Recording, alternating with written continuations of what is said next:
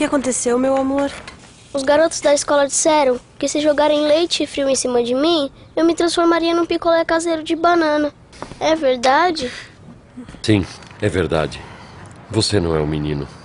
É uma banana. Não, eu não quero ser uma banana, eu quero ser um menino. Muita banana, leite e frio. É assim que se faz um verdadeiro picolé caseiro. Novo picolé frutari caseiro, com pedaços de banana. Gostoso como feito em casa.